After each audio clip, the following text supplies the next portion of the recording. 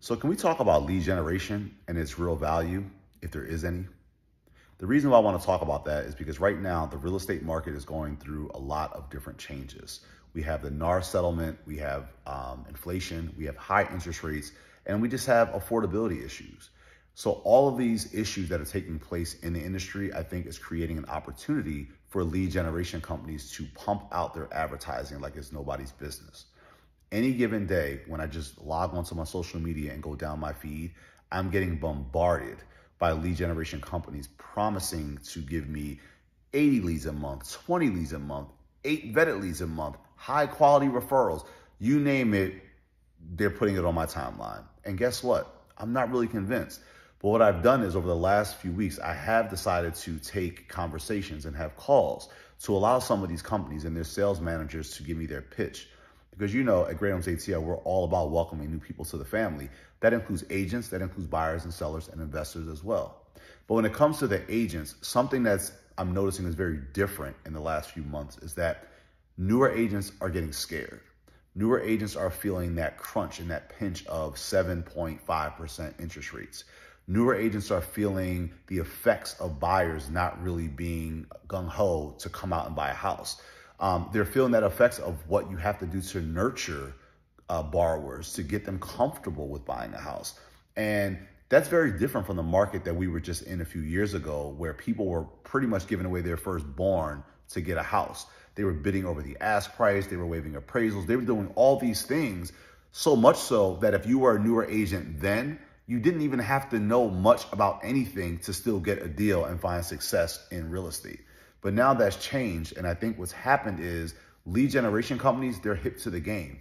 They know that agents are running scared. They know that over 100,000 agents have left the real estate industry this year and are returning to do either their corporate job that they were doing before 2020, 2021, and 2022, or they're just finding new professions because they can't really make it in real estate. And so what's happening now? What's the opportunity? What's the plug offering? They're offering leads. They're offering them if they're vetted. They're offering them if you get 80 a month. They're offering them if you get 20 a month. They're offering to give you the best leads. And so what I did was I decided, you know, for my brokerage, I want to make sure that I am always providing our agents with the tools that they need to be successful. So that's always going to be lead generation. That's always going to be how can I, as a managing broker, give my agents business? How do I make them successful? And I'm going to let you in on a little secret. To date, Great Homes ATL, we've been in business since 2020. And I will share with you whether you will believe this or not. We've never purchased any leads. We don't purchase leads. We don't purchase followers. You know why? Because Mark and I both agree that we are the brand. Great Homes ATL, when you see that, when you Google that, you think of probably Mark with his home tours or me, Kurt, with my sarcasm, with my listing ability, or what have you. But Great Homes ATL has a brand awareness and a brand association that we work so hard to develop and create. So why should we take that hard work that, that we've literally lost sleep building and just being consistent with and now give somebody money to give me leads that don't know me so that I can then give them 40% in some cases of my commission? Uh-uh, not happening. So what I think is more important, right, than just having spending thousands of dollars to get leads from people that quite frankly don't know you. They don't know that you exist. They don't care that you exist. What they do know is that they can click a button at one o'clock in the morning, at two o'clock in the morning from a house that they want to see. And what they do know is that somebody, probably you because you bought them as a lead, will pick up the phone and schedule an appointment to show them that house without even knowing whether or not they're qualified. That's lead generation. And before you guys jump in the comments and, and say what you want to say, I, I encourage you to do that. But here's what I did. I took calls over the last several weeks with several of the top lead gen companies. Zillow, CINC Pro, OpCity, you name it. And I probably have spoken with them and have allowed them to give me their sales pitch. And what I will say is some of them are good. They know how to sell, right? But they didn't sell me because the one thing that I honed in on was that large in part, they all do the same thing. They just have a slight nuance to their business. For example, most of the lead generation companies are running Google ads. And when they pitch you and tell you how successful you can be and how many more deals you can close with them and their lead gen company, ask them, how much is the investment?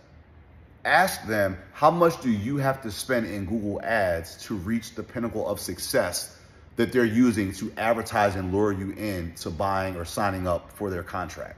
Ask them that. It's a fair question, and I'll tell you why. A lot of the things that they're doing, you can actually do yourself. Sure, it's gonna take so much hard work, a lot of time, a lot of sweat, and a lot of dedication.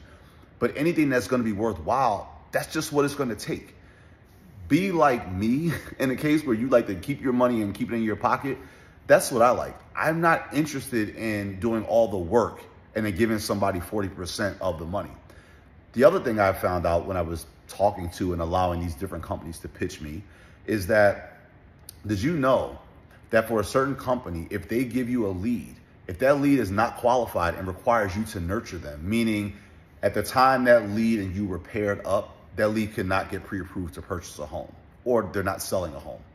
Do you know that if you spend the time to nurture that lead within a two year period, and let's say at one year and seven months, that lead all of a sudden is now viable and qualified to purchase a home, do you know that you still owe the lead generation company whatever your agreed upon split is or their cut, regardless, because it's within two years that you nurtured a lead and got them to closing? Well, my argument is this. If you have to do that with most web leads, how many deals can you actually really close in a six month period of time? If leads are able to just be up at one o'clock in the morning or two o'clock in the morning because they're a night owl like myself, the pressure to pick up that phone and respond at all hours of the night is on you as the agent and you can't even vet the leads to know if they're qualified to go see the house that they're up at two o'clock in the morning requesting to go see. I'm just gonna say this. I'm a night owl. I know others are as well. But the one thing I'm probably not gonna do because I would be serious if I'm buying a home, I'm probably not gonna schedule a home tour or a showing at two o'clock in the morning unless what? unless I knew that no matter what time I pressed that button, I could waste somebody's time because somebody was going to pick up the phone and call and respond to my request. That's the only reason why I would do that at two or three o'clock in the morning. Normally, I would say a, a, qualified lead is probably going to be doing business during normal business hours when they understand that their request can be met by a professional or an expert during normal business hours. What lender do you know is giving a pre-approval at three o'clock in the morning? I don't know any. I don't. What agent do you know is out showing houses before 9 or 10 a.m. in the morning? Not many. I don't know. So why would you think that because you get a lead at 3 o'clock in the morning, that that lead has been vetted, that lead has been qualified, and that lead is ready to go? Not the case at all. And so to the lead generation companies, I understand it's a business. You guys all have to kind of sell your product but I'm just not sold. And now every day there's another lead gen company, there's another influencer telling me how they can get me the best leads. And here's the thing, did you guys ever stop and wonder if you're buying into zip codes, which some of these lead gen companies offer, they offer you the opportunity to buy into a certain zip code so that that becomes your network, that becomes your sphere. Have you ever wondered when they hang up the phone with you and they go speak to the next agent or the next brokerage, and that agent or that brokerage also happens to want that same zip code or that same area, did you ever wonder what they tell that person? I bet y'all are sharing the same leads. And here's how it works. I share the zip code of, let's just say 30135, and you, John Doe, you share the same zip code of 30135. But guess what just happens? We both are paying the same thing to the same lead generation company, right? But now when a user or a customer from 30135 clicks on, I want to see this property, we're both going to get alerted to that. So now the pressure of which agent gets to this customer first is all it's about. So why am I paying into something? Why am I paying a premium for just the chance of getting a deal when I can save my money or repurpose my money into my own branding, my own business, and increase my own sphere of influence by running my own ads, by enhancing my website, by doing the things that are going to make me successful in the long run, why would I not invest in myself and choose to throw money away at a lead gen company that's sharing the leads with me to any other agent that's in the same zip code, that doesn't make sense. But yet and still, it is big business because, as I said, my timeline is inundated with lead gen companies and lead gen influencers. And I'm just gonna say it like this you be the lead generation. Think about that.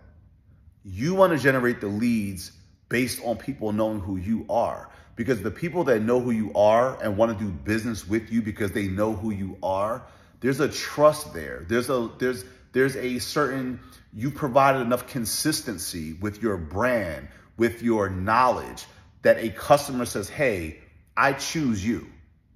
I don't choose to go fish around for a random agent that I don't know or a broker that I don't know but you provided and you've shown that you are the expert in what you do. So I have that trust and that I want you to represent me as my real estate professional. That is so much more valuable when you can establish that trust for yourself with an audience. When you can create an audience that tunes into you and what you have going on, that's going to be worth so much more than paying somebody $1,500 a month, $2,000 a month. In some cases, I've been pitched $5,000 a month for lead generation. Do you know what I could do with $5,000 a month? Do you know how many more investments I can make for my business, for myself, for my brand? $5,000 a month to give it to somebody else for then when I do the work, they come back and say, okay, I know you're paying me 5,000 a month, but I still need to collect my 40% from like, what? Is that what we're really doing? Are the times really that hard? Are agents really becoming that desperate? To where it's all about the volume and it's not really about the time. It's not really about the quality. I'm sorry, I'm not sold. I'm not sold. It's always about the quality for us at Great Homes ATL. And like I said, a web lead is a web lead. High volume, low volume. And what I can tell you is that at greathomesatl.com, we have decent enough volume. You guys follow us. So our agents are successful. They are closing deals. We're closing deals. We're listing homes. We do commercial. We do residential. We do all of that and have been doing that without buying a single lead. It's because we put in the work organically. We drive the business to ourselves organically just by being the experts, just by Mark being in the field, giving you guys property tours of, at locations that you probably would have never heard of otherwise, right? I'm listing homes. I have four listings on the market now, one coming up on Wednesday. That's not a lead that gave me that. That is me being out here believing in myself, betting on me, betting on my brand, and knowing that in the long run, I'm going to be the best lead generation for myself more than Zillow, CINC, OpCity, and anybody else. And if you disagree, argue with me in the comments. I'd love to hear what you have to say.